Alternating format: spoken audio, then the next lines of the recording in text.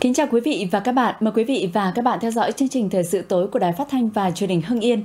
Chương trình hôm nay thứ tư, ngày mùng 10 tháng 11, chúng tôi sẽ gửi tới quý vị và các bạn những nội dung đáng chú ý sau đây. Bộ trưởng Bộ Y tế trả lời chất vấn đại biểu Quốc hội. Thường trực Hội đồng Nhân dân tỉnh làm việc với Thường trực Hội đồng Nhân dân huyện Văn Lâm Trong mục 190 năm thành lập tỉnh Hưng Yên có bài Mối giao thương giữa Phố Hiến và Thăng Long. Xử lý nghiêm hành vi vứt rác động vật gây ô nhiễm môi trường. Tín dụng đen và những hệ lụy cho gia đình, xã hội. Thưa quý vị và các bạn, như chúng tôi đã đưa tin, tiếp tục chương trình nghị sự bắt đầu từ ngày hôm nay, mùng 10 tháng 11 đến ngày 12 tháng 11, kỳ họp thứ hai Quốc hội khóa 15 tiến hành làm việc với nội dung chất vấn và trả lời chất vấn của đại biểu Quốc hội. Kính thưa các đồng chí lãnh đạo. Dưới sự chủ trì của Chủ tịch Quốc hội Vương Đình Huệ, Bộ trưởng Bộ Y tế Nguyễn Thanh Long đã mở màn phiên chất vấn và trả lời chất vấn đầu tiên trong nhiệm kỳ Quốc hội khóa 15 Trả lời câu hỏi của các đại biểu Quốc hội liên quan đến nhân lực y tế chất lượng cao và tình trạng hàng loạt cán bộ y tế vướng vào vòng lao lý khi sai phạm trong đấu thầu và mua bán thuốc, Bộ trưởng Nguyễn Thanh Long khẳng định đây là những vụ việc hết sức đau lòng. Bên cạnh nguyên nhân chủ quan, có những nguyên nhân khách quan. Bộ Y tế đã ban hành nhiều văn bản để quy định, hướng dẫn trong lĩnh vực này. Thời gian tới, Bộ sẽ tiếp tục tăng cường thanh tra, kiểm tra, giám sát để kịp thời phát hiện, ngăn ngừa, xử lý nghiêm các sai phạm. Trước ảnh hưởng nặng nề của dịch bệnh COVID-19 đối với sức khỏe toàn dân, một số đại biểu Quốc hội cũng đề nghị Bộ Y tế cần sớm triển khai đồng bộ việc khám sàng lọc sức khỏe cho nhân dân. Chúng ta đã triển khai cái chiến dịch tiêm chủng trên một cái quy mô lớn nhất từ trước đến nay. Và cho thời điểm hiện nay thì chúng ta đã tiêm được cho 94 triệu người. Chúng ta đã dựa trên cái nghị quyết 21 của chính phủ trong vấn đề bị phân bổ. Theo những cái yếu tố nguy cơ, thế rồi theo cái tình hình dịch và theo những cái địa bàn thì chúng tôi cũng đã có cái chỉ đạo là các địa phương phải đẩy nhanh cái tốc độ tiêm cái mũi một phủ nhanh cái mũi một và đồng thời tiêm trả mũi hai cho các địa phương. Và cái lượng vaccine về chúng ta là chúng ta hoàn toàn đảm bảo đủ cho người dân từ 18 tuổi trở lên tiêm đủ hai mũi và đảm bảo đủ cho người từ 12 tuổi trở lên tiêm đủ hai mũi. Đến cuối năm nay thì chúng ta mới có cái kế hoạch để tiêm cái mũi 3. Đối với công tác dự báo diễn biến dịch bệnh, Bộ trưởng Bộ Y tế cho rằng đây là công việc rất khó khăn, khó thực hiện. Do virus liên tục biến chủng, đại dịch chưa có tiền lệ, diễn biến dịch bệnh vẫn rất phức tạp. Bộ Y tế sẽ tiếp tục phối hợp tham khảo tư vấn của các tổ chức quốc tế trong công tác này, đồng thời yêu cầu các địa phương không được chủ quan, lơ là, mất cảnh giác trong phòng chống dịch bệnh. Buổi chiều, Bộ trưởng Bộ Lao động Thương binh và Xã hội Đào Ngọc Dung đã trả lời chất vấn của các đại biểu Quốc hội. Nội dung trả lời tập trung vào việc thực hiện các gói hỗ trợ cho đối tượng bị ảnh hưởng bởi dịch COVID-19, bảo đảm tiến độ, đúng đối tượng hiệu quả, bảo vệ quyền trẻ em, nhất là trẻ em có người thân mất vì đại dịch COVID-19, giải pháp thao gỡ những khó khăn của thị trường lao động theo diễn biến của dịch, chính sách thu hút lực lượng lao động trở lại làm việc và giải pháp hỗ trợ giải quyết việc làm đối với lực lượng lao động bị mất việc. Chiều nay, tại huyện Văn Lâm, Thường trực Hội đồng Nhân dân tỉnh tổ chức hội nghị làm việc với Thường trực Hội đồng Nhân dân huyện Văn Lâm về tình hình tổ chức hoạt động của Hội đồng Nhân dân huyện. Đồng chí Trần Quốc Toản, Phó Bí thư Thường trực tỉnh ủy, Chủ tịch Hội đồng Nhân dân tỉnh chủ trì hội nghị. Sau khi tổ chức thành công cuộc bầu cử nhiệm kỳ 2026, Hội đồng Nhân dân huyện Văn Lâm khóa 20 kiện toàn công tác nhân sự, thông qua 26 nghị quyết về phát triển kinh tế xã hội, tổ chức tốt các cuộc tiếp xúc cử tri trực tuyến. Hoạt động của Hội đồng Nhân dân huyện góp phần thực hiện thắng lợi nhiều nhiệm vụ phát triển kinh tế xã hội của địa phương. Trong đó, thu ngân sách 10 tháng đạt 2.000 tỷ đồng, đạt trên 100% dự toán cả năm.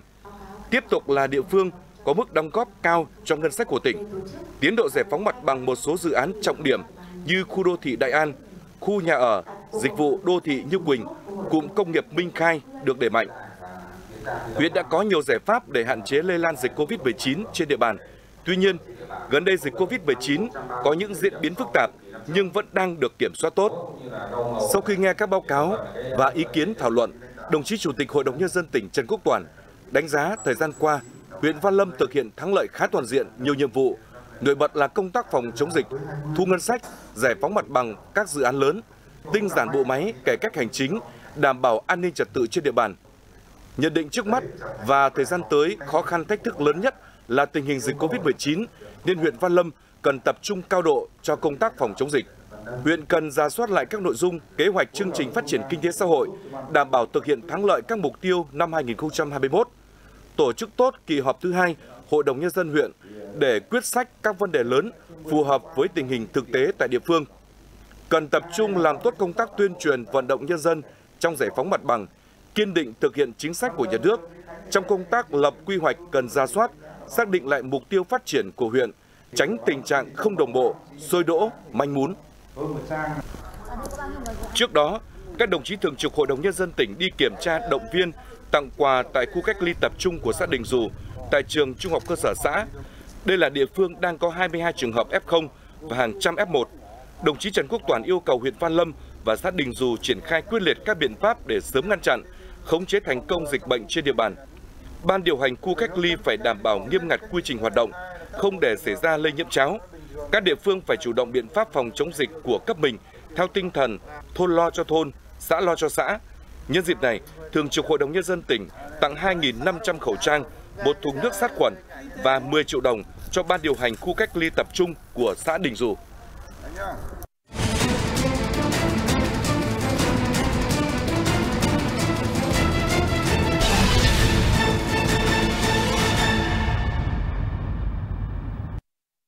Hôm nay, tỉnh Hưng Yên ghi nhận thêm 23 ca dương tính với SARS-CoV-2 tại Bệnh viện Đa khoa Hưng Yên, các huyện Ân Thi, Văn Lâm, Khói Châu, Tiên Lữ, Kim Động.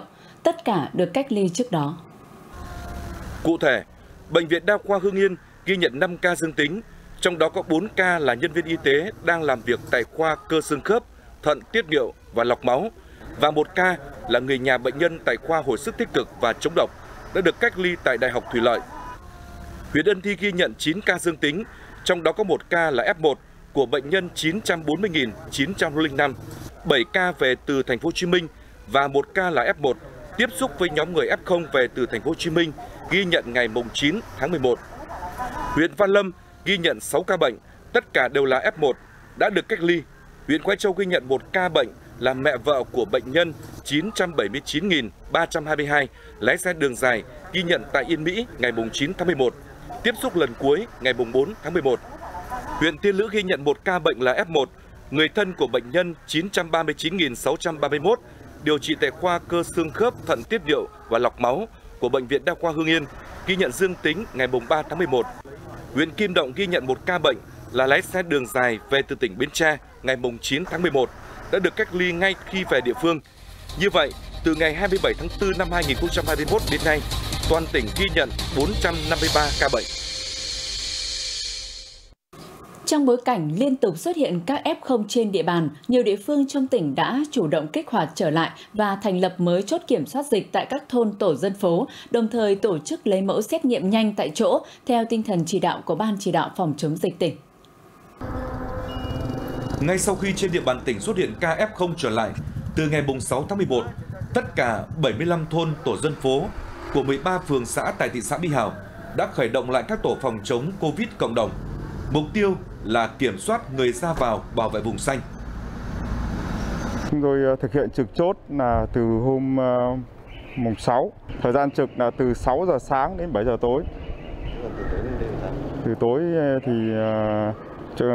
ban quân sự và công an sẽ đi tuần và kiểm tra trên địa bàn. Mỗi tổ dân phố chỉ có một đường đi vào đi ra, hạn chế đấy. Yêu cầu các chốt là kiểm tra tất cả những người lạ, đặc biệt là xe biển số không phải hưng yên, phải có kết quả xét nghiệm âm tính. Nếu không thì chúng tôi ờ, yêu cầu là giữ lại. Tại huyện Quái Châu ngày 9 tháng 11, 115 thôn trong huyện hoàn thành việc lập chốt kiểm soát dịch tại đầu các đường chính ra vào theo tinh thần chỉ đạo của Ban chỉ đạo phòng chống dịch tỉnh và huyện. Cùng với đó, công tác kiểm soát người về từ vùng dịch của các tổ Covid cộng đồng cũng được thắt chặt. Tôi à, về xã hôm mùng 3 và ở trung tâm xã thì ờ, giới thiệu tôi xuống cái khu cách ly ờ, của huyện và tôi đã thực hiện cách ly xong một tuần.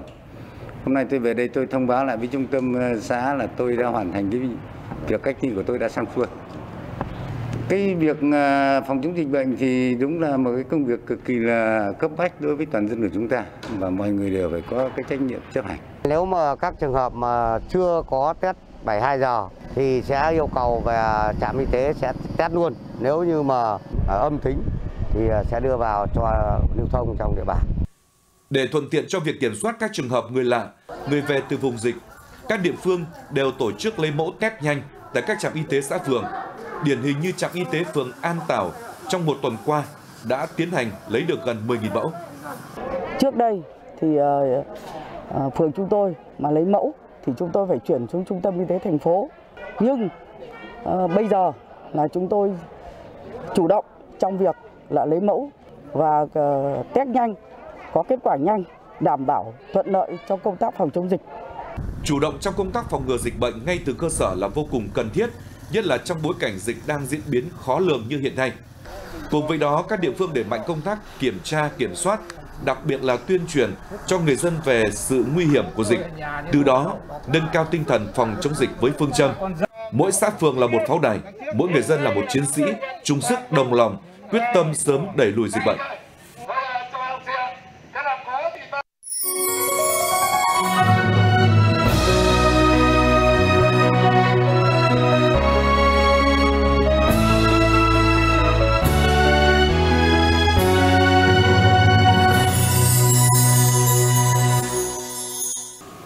Thưa quý vị và các bạn, phố Hiến đóng vai trò thương mại quan trọng đối với kinh thành Thăng Long ở thế kỷ 16-17, là nơi trung chuyển giao dịch hàng hóa của đàng ngoài, là cửa ngõ án ngữ thông thương của mọi tuyến giao thương đường sông từ vùng biển Bắc Bộ đi sâu vào đất liền tới kinh thành Thăng Long.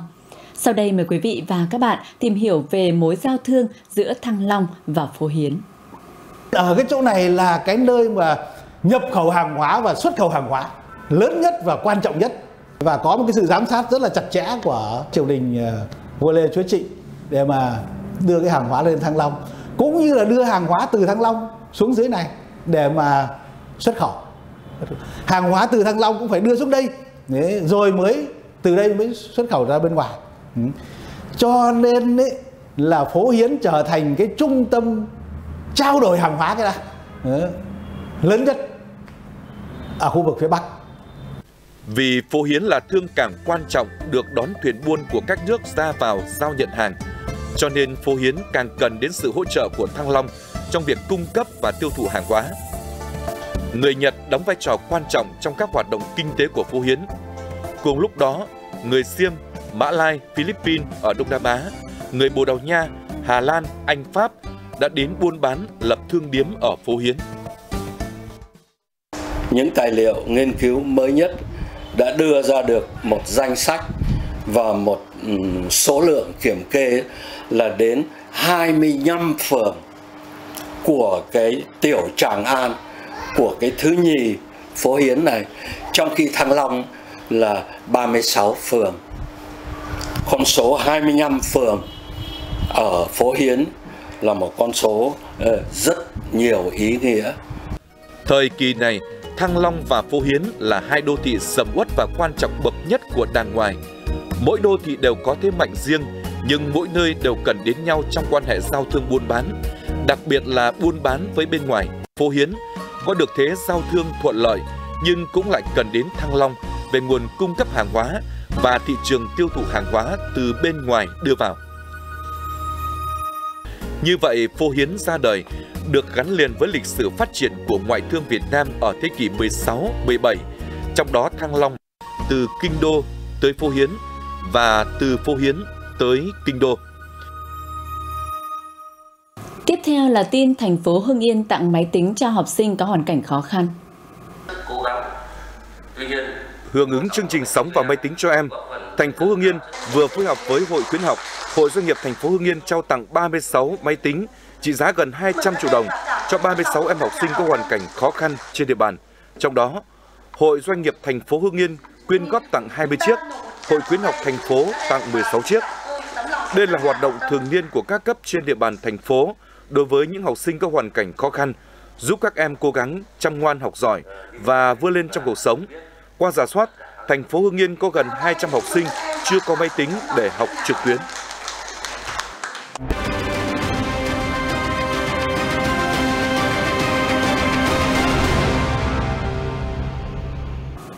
cho vay lãi nặng, hay còn gọi là tín dụng đen từ các tổ chức cá nhân cho vay tiền nhưng không đăng ký kinh doanh. Hậu quả là không ít gia đình rơi vào cảnh mất nhà và các tài sản khác. Ngày 29 tháng 7 năm 2021, Công an tỉnh đã bắt quả tang Bạch Văn Tiệp, sinh năm 1988, hộ khẩu thường trú tại xã Đào Dương, huyện Ân Thi, đang có hành vi đánh bạc dưới hình thức số lô số đề. Khám xét khẩn cấp nơi ở của Tiệp, cơ quan công an thu giữ 68 hợp đồng vay tiền thế chấp tài sản và 37 hợp đồng cho vay tài sản. Cơ quan công an xác định Tiệp có hành vi cho vay lãi nặng trong giao dịch dân sự với số tiền trên 650 triệu đồng, với mức lãi suất từ 3.000 đồng đến 5.000 đồng 1 triệu đồng một ngày. Tổng số tiền mà Tiệp đã thu lợi bất chính gần 170 triệu đồng. Trước đó, vào tháng 5 năm 2021, lực lượng công an đã bắt giữ Nguyễn Văn Tuân, sinh năm 1993, trú tại xã Tân Lập, huyện Yên Mỹ, làm chủ mua bán số lô số đề, cá độ bóng đá, đồng thời cùng các đối tượng cho vay tiền với lãi suất cao từ 12 đến 15% một tháng. Tuân cùng đồng bọn đã cho 6 khách hàng vay với số tiền trên 570 triệu đồng và đã thu lợi bất chính hơn 400 triệu đồng.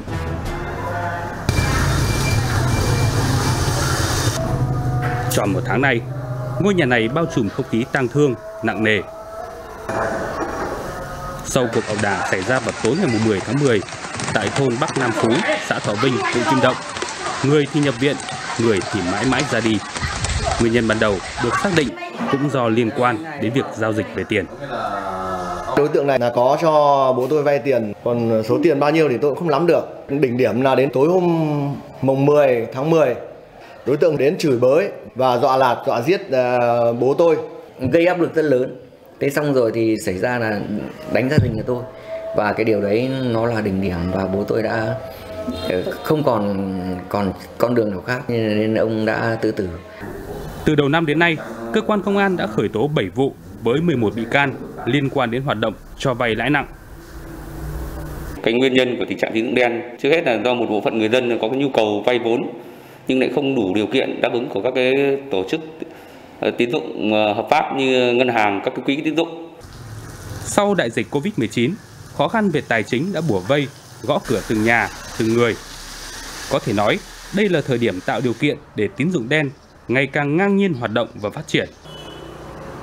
Từng bờ tường, góc phố hay cột điện, từ thành thị đến nông thôn. Đầu đầu cũng tràn lan quảng cáo với những lời mời chào hỗ trợ cho vay không thế chấp với lãi suất ưu đãi, nhanh gọn. Trong quá trình người dân vay tiền thì các đối tượng cho người dân biết các giấy tờ liên quan đến việc vay mượn thì không thể hiện cái lãi suất ra nên đã gây khó khăn rất nhiều khó khăn trong công tác đấu tranh xử lý các đối tượng này với lãi suất cho vay thường rất cao, từ 100% đến 300%, thậm chí lên đến 500% một năm. Những giao dịch dân sự này do các bên tự thỏa thuận bằng hình thức viết tay, không được chứng thực bởi pháp luật và các hành vi vi phạm pháp luật như cưỡng đoạt, cướp tài sản, bắt người trái pháp luật, cố ý gây thương tích, hủy hoại tài sản cũng từ vấn nạn tín dụng đen mà ra. Trong chương trình thời sự ngày 1 tháng 10, chúng tôi đã phản ánh sự việc tổ dân phố Lỗ Xá, phường Nhân Hòa, thị xã Mỹ Hào, người dân vứt xác động vật ra môi trường.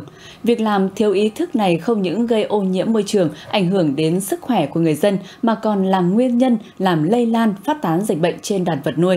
Đến nay, tình trạng này vẫn chưa được xử lý dứt điểm ở phường Nhân Hòa. Đây là hình ảnh chúng tôi ghi được vào khoảng 15 giờ 30 phút ngày 8 tháng 11 trên tuyến đường nối từ đường DH33 sang xã Cẩm Xá thuộc địa bàn tổ dân phố Lỗ Xá, phường Nhân Hòa. Chủ yếu là xác lợn do các hộ sản xuất kinh doanh giết mổ lợn trong thôn đổ ra. Do lâu ngày không được vận chuyển đi đã phân hủy, bốc mùi hôi thối nồng nặc, ảnh hưởng đến cuộc sống của người dân. Cái môi trường của cả một lửa làng này còn là như hẹn nhà tôi ở cách đây này 300 mét, không dám mở cửa thời bây giờ. Mở ra không chịu nổi. Tôi đề nghị là có cái cách nào xử lý để cho bà con tôi đã phải khổ chúng tôi ở liền đây không bao giờ dám mở cửa tí nào thôi tôi cũng đề nghị là làm sao xử lý cho chúng tôi cái bãi rác này cho dân chúng tôi thật sự là được cuộc sống an lành. Toàn tổ dân phố Lỗ Xá có khoảng 80 hộ giết mổ sản xuất kinh doanh sản phẩm từ lợn.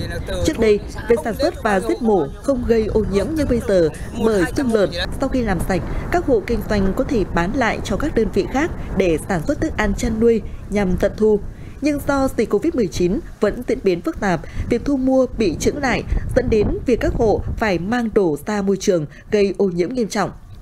Trong khi đó, căn cứ theo khoản 6 và khoản 10 điều 5, Nghị định số 90 năm 2017 quy định xử phạt vi phạm hành chính trong lĩnh vực thú y thì hành vi vận chuyển hoặc vứt gia súc gia cầm mắc bệnh chết và sản phẩm ra môi trường có thể bị phạt tiền từ 5 triệu đồng đến 6 triệu đồng và khắc phục hậu quả, buộc tiêu hủy động vật, sản phẩm xác động vật theo quy định.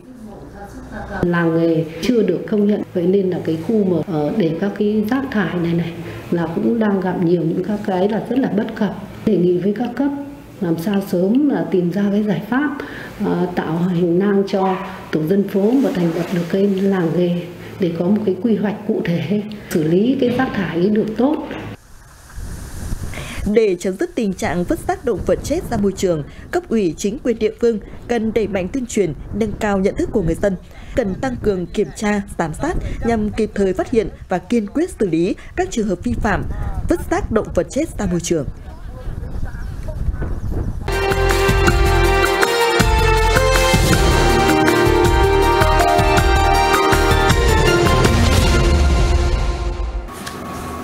Kính mời quý vị và các bạn tiếp tục chương trình với phần tin quốc tế. Một số cơ quan truyền thông vừa đưa tin, hội nghị thượng đỉnh giữa hai nhà lãnh đạo Trung Quốc và Mỹ có thể sẽ diễn ra sớm nhất là vào đầu tuần sau. Trước đó, Tổng thống Mỹ Joe Biden mới chỉ trao đổi với Chủ tịch Trung Quốc Tập Cận Bình hai lần kể từ khi ông nhậm chức hồi tháng 1 vừa qua. Mặc dù các giới chức ngoại giao của hai bên đã trao đổi nhiều lần. Cụ thể, theo một số nguồn tin, lãnh đạo hai bên sẽ có một cuộc trao đổi thứ ba vào tuần sau Hiện tại cả hai chính phủ đều chưa xác nhận về thông tin này. Lần trao đổi gần đây nhất giữa Tổng thống Joe Biden và Chủ tịch Tập Cận Bình là vào giữa tháng 9, khi hai nhà lãnh đạo điện đàm với nhau trong 90 phút. Hồi tháng 2, hai nhà lãnh đạo cũng tiến hành điện đàm trong khoảng 2 tiếng. Hiện hai nước cũng đang xúc tiến các cuộc trao đổi để giải quyết một số vấn đề cạnh tranh giữa hai nước. Chủ tịch Ủy ban châu Ursula von der Leyen vừa lên tiếng cảnh báo các biện pháp trừng phạt đối với Belarus liên quan tới tình hình người di cư ở biên giới nước này với Ba Lan. Chủ tịch Ủy ban châu Âu Ursula von der Leyen yêu cầu Belarus cần dừng ngay việc sử dụng vấn đề di cư như một công cụ vì các mục đích chính trị, điều đang đẩy cuộc sống của nhiều người vào tình thế nguy hiểm. Bà kêu gọi các quốc gia thành viên thông qua các biện pháp trừng phạt mở rộng với chính quyền Belarus cũng như chống lại các hãng hàng không của nước thứ ba liên quan tới hoạt động buôn người. Hiện nay, làn sóng người di cư đông chưa từng thấy từ Belarus đang tìm cách xâm nhập vào Ba Lan và đe dọa trực tiếp an ninh của toàn Liên minh châu Âu. Theo người phát ngôn chính phủ Ba Lan, hiện có khoảng 3.000 đến 4.000 người di cư tập trung gần biên giới của hai nước và hơn 10.000 khác đang chờ nhiều khu vực của Belarus để chuẩn bị vượt biên. Bộ Y tế Lào thông báo sẽ triển khai tiêm mũi thứ 3 vaccine ngừa COVID-19 cho lực lượng y tế để đảm bảo an toàn trong thực hiện công tác phòng chống dịch bệnh. Theo đó, đợt tiêm mũi thứ 3 dự kiến sẽ triển khai từ tháng 1 tới tháng 2 năm sau với ít nhất 70.000 liều vaccine được ưu tiên cho lực lượng tuyến đầu. Theo Bộ Y tế Lào, nhân viên y tế tuyến đầu thường xuyên tiếp xúc với bệnh nhân và có nguy cơ lây nhiễm rất cao, bất chấp việc sử dụng đầy đủ các công cụ bảo hộ. Vì vậy, việc triển khai kế hoạch tiêm mũi 3 cho nhân viên y tế là rất cần thiết để tăng cường khả năng miễn dịch với virus. Hiện nay, Bộ Y tế nước này vẫn chưa cho biết sẽ sử dụng loại vaccine của hãng nào để tiêm tăng cường. Chuyển sang một thông tin khác, Hải quân Hàn Quốc ngày 9 tháng 11 vừa qua công bố mô hình 3 chiều tàu sân bay hạng nhẹ mà nước này dự định đóng vào năm 2033 tới đây. Theo đoạn video dài khoảng 6 phút do Hải quân Hàn Quốc đăng tải, tàu sân bay có lượng choán nước khoảng 30.000 tấn đang hoạt động trên biển cùng các thành phần cốt lõi khác trong nhóm tác chiến. Trong đó có các tàu khu trục được trang bị hệ thống phòng thủ tên lửa Aegis, tàu hỗ trợ chiến đấu và tàu ngầm. Máy bay tiêm kích có khả năng cất hạ cánh thẳng đứng cũng xuất hiện trên tàu sân bay. Hải quân Hàn Quốc đang thúc đẩy triển khai dự án tàu sân bay để tăng cường khả năng phòng thủ của họ trong một khu vực được bao quanh bởi các cường quốc hàng hải như Trung Quốc và Nhật Bản. Chính phủ Australia vừa công bố một khoản đầu tư trị giá hàng trăm triệu đô la Australia để khuyến khích người dân sử dụng xe ô tô điện. Đây là một phần trong nỗ lực của chính phủ nước này trong việc thực hiện cam kết đưa phát thải dòng về không vào năm 2050. Theo chiến lược do Thủ tướng Scott Morrison công bố, Australia sẽ tập trung vào các nhiệm vụ là gia tăng số lượng các điểm nạp, điện và hydrogen cho các xe điện với kinh phí khoảng 250 triệu đô la Australia để làm giảm khí thải nhà kính của các phương tiện vận tải thương mại. Đồng thời, Australia cũng sẽ nâng cao sự tin tưởng của người dân vào công nghệ bên cạnh việc tích hợp xe điện vào mạng lưới điện. Và cuối cùng, Australia sẽ hỗ trợ việc đổi mới công nghệ đối với các phương tiện giao thông và nâng cao năng lực sản xuất để tạo thêm nhiều việc làm.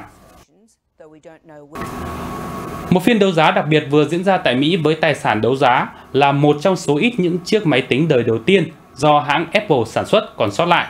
Chiếc máy đã được bán với giá gần nửa triệu đô la Mỹ. Chiếc máy tính Apple 1 45 tuổi này, được bán đấu giá ngày 9 tháng 11 theo giờ địa phương tại Mỹ với giá khởi điểm là 200.000 đô la Mỹ. Giá đấu giá thành công là 400.000 đô la Mỹ. Đây là một trong 200 chiếc máy tính Apple 1 được phát triển vào năm 1976 dưới thời của nhà sáng lập Apple, ông Steve Jobs cùng với các đồng nghiệp. Theo công ty đấu giá, chiếc máy đã được xác nhận là hàng thật, được đánh giá kỹ lưỡng và khôi phục lại. Đây cũng là một trong 60 chiếc Apple 1 còn lại và thuộc nhóm 20 máy còn đang hoạt động. Độ hiếm của chiếc máy đấu giá lần này tăng lên do được đặt trong một khung gỗ Koa có nguồn gốc từ Hawaii rất phong phú vào những năm 1970 nhưng hiện giờ đang rất hiếm và đắt. Thông tin vừa rồi cũng đã khép lại chương trình thời sự của Đài Phát thanh và Truyền hình Hưng Yên ngày hôm nay. Cảm ơn quý vị và các bạn đã dành thời gian theo dõi.